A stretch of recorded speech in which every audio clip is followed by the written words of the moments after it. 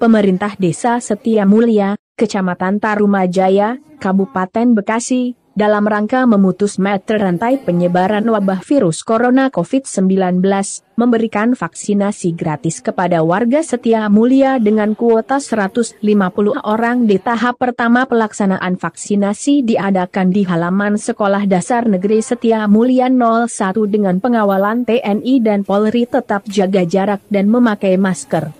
Jumat 16 Juli 2021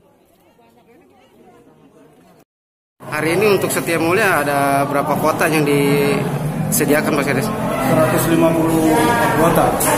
Setia Mulia semua kita bagi per kardus.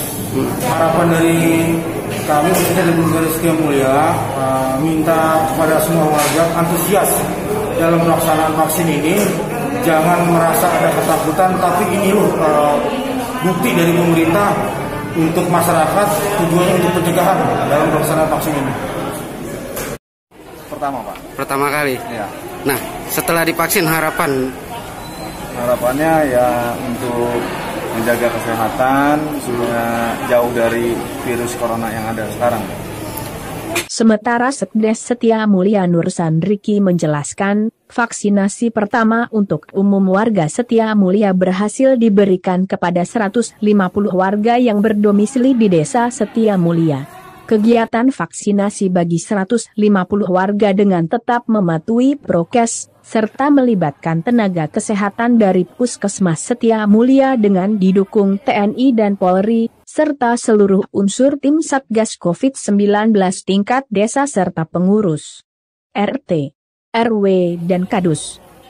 Alhamdulillah pelaksanaan vaksin pertama di Desa Setia Mulia berjalan lancar. Untuk vaksinasi kedua akan dilaksanakan bulan depan, dan kegiatan vaksinasi tersebut tetap menerapkan protokol kesehatan agar selalu menjaga dan menjalankan prokes 5M yaitu selalu memakai masker, menjaga jarak, mencuci tangan dan menghindari kerumunan serta mengurangi mobilitas jelasnya Sekdes Setia Mulia Nursan.